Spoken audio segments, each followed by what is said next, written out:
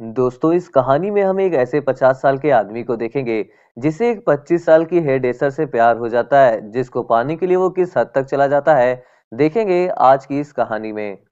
कहानी की शुरुआत होती है और हम एक 12 साल के बच्चे को देखते हैं, जिसका नाम अंटोनियो होता है, जो कि फ्रेंच डांस कर रहा होता है। अंटोनियो अपनी इस छोटी सी उम्र में एक हेयर ड्रेसर से प्यार कर बैठता है, जिसको देखने के लिए अक्सर वो उसकी दुकान के पास जाया करता था।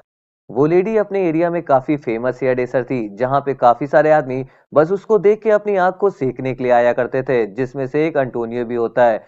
जो कि अक्सर उसकी दुकान पे हेयर कट करवाने के लिए जाया करता था और उसके वाटरमेलन को देखा करता था और दिन भर बस उसी लेडी के बारे में सोचा करता था। एक बार जब वो उस लेडी की शॉप पे जाता है तो वो देखता है कि उस लेडी की अचानक डेथ हो गई है, जिसके बाद एंटोनियो उसी को ही देख रहा होता है, जिसके बाद कहानी कुछ साल बाद दिखाई जाती है और हम देखते हैं कि एंटोनियो अब एक पचास साल का आदमी बन चुका है, जो की अभी तक अनमेरिड है,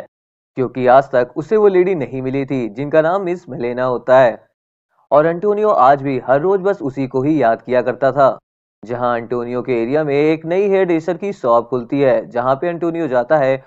और उसे वहाँ पे एक बहुत ब्यूटीफुल लेडी दिखाई देती है, जो कि वहाँ की हेयर ड्रेसर होती है, जिसका नाम मिस सोफिया होता है। मिस सोफिया को देख के अंटोनियो को उसकी मिस मलीना याद आती है और वो जब जब सोफिया को देखता है, उसको मिस मलीना की ही याद आने लगती है, जिसके बाद हम देखते हैं कि एंटोनियो अक्सर उस लेडी की शॉप में जाने लगता है, जहाँ पे वो अपना हर रोज हेयर केयर करवाता है और एक दिन मौका पाके वो उसे प्रपोज कर देता है, जहाँ पे मिस सोफिया पहले उसकी बातों को इग्नोर करती है। मगर एंटोनियो हार नहीं मानता और मिस सोफिया के पीछे पड़ जाता है और एक बार जब उसकी शॉप में कोई भी नहीं होता तो वो उसके साथ जाके फ़िज़िकल हो जाता है, जिसके बाद इन दोनों का रिलेशनशिप चालू हो जाता है। और जब शॉप में कोई भी नहीं होता तो दोनों लोग उस शॉप के अंदर काफ़ी रोमांस करते हैं, जिसके बाद कुछ टाइम बाद दोनों लोग चर्च में जाके शादी भी कर लेते हैं।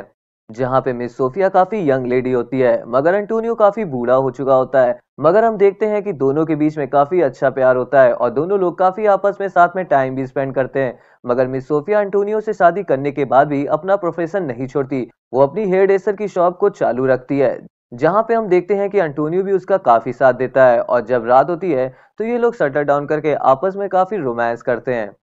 जिसके बाद हम देखते हैं कि जब एंटोनियो सोफिया को घुमाने के लिए एक गार्डन में लेके जाता है तब वहाँ पे एक बूढ़ा आदमी आता है, जो कि अंटोनियो से कहता है कि तुम जितना ज़्यादा बूढ़े होते जाओगे, उतना सोफिया के लिए तुम्हारे लिए प्यार कम होता जाएगा, क्योंकि एक समय के बाद सोफिया तुम्हें छोड़ के चली जाएगी, जहाँ पे अंटोनियो उस बूढ़े आदमी की बातों का कोई भी जवाब नहीं देता है, जिसके बाद हम देखते हैं कि दोनों लोग वापस से अपनी दुकान में आ जाते हैं, और उस दिन उस एरिया का मौसम काफ़ी खराब होता है, वहाँ पे काफ़ी बारिश हो रही होती है जिसके वजह से हम देखते हैं कि दोनों लोग फिर से आपस में काफ़ी रोमांस करने लगते हैं, और दोनों लोग उस रात काफ़ी खुश होते हैं। मगर तभी मिस सोफिया को याद आता है कि वो अपना कीमती सामान उस गार्डन में छोड़ आई है, जहाँ पे वो एंटोनियो से कहती है कि वो अपना सामान लेने के लिए गार्डन में जा रही है। मगर अंटोनियो उसे रोकता है, वो उससे कहता है कि बाहर काफ़ी बारिश हो रही है और तुम्हें ऐसे मौसम में बाहर नहीं जाना चाहिए। मगर मिस सोफिया उसकी बातों को नहीं सुनती है और अपने सामान को लेने के लिए गार्डन में चली जाती है और हम देखते हैं कि जब मिस सोफिया गार्डन की तरफ़ जा रही होती है तो उसका बैलेंस बिगड़ जाता है और वो एक झील में गिर जाती है और सडनली उसकी वहाँ पे डेथ हो जाती है, जहाँ पे हम अंटोनियो को देखते हैं